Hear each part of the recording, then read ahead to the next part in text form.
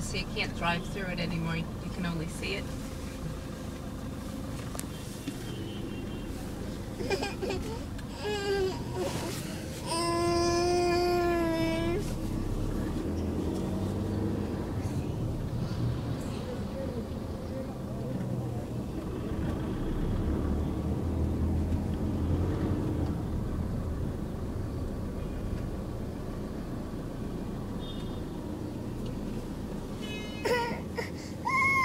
Oh, little boy. I know, little boy. I'm tired.